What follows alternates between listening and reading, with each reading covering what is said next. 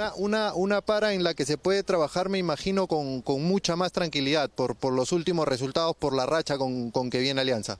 Sí, como decís, creo que, que bueno, obviamente el plantel está, está contento, está tranquilo, los, los ánimos son buenos, pero, pero también sabiendo que tenemos una buena responsabilidad de seguir afirmando el buen momento que tenemos.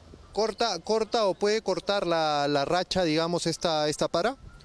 No, esperemos que no, la idea es que poder seguir de la misma manera y, y por ahí los puntos que, que estábamos en el debe, seguir mejorándolos, creo que venimos en, en alza, así que, que esperemos que no sea así.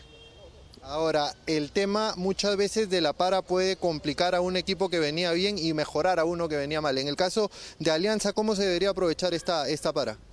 Sí, bueno, ya el fin de semana creo que va a haber un, un partido amistoso con, con Cristal, que es un, es un muy buen rival que seguramente también nos va a seguir exigiendo y, y eso va a hacer de que nadie se, se relaje, todos estamos jugando, creo que, que eso también ayuda mucho al equipo, ¿no? que, que se está rotando y, y entonces creo que todos estamos teniendo continuidad y, y hace que el plantel esté muy bien.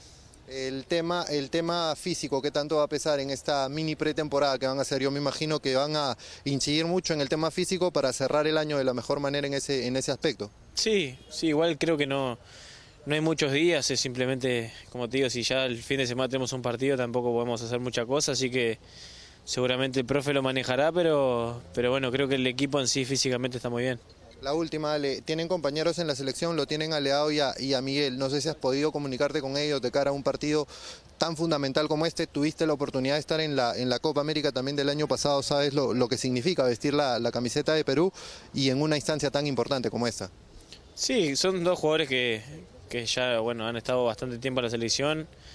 Obviamente debe ser un, una situación muy linda la que les toca vivir y y seguramente lo van a aprovechar al máximo y ojalá que, que, bueno que Perú el jueves pueda, pueda ganar para la alegría de todos.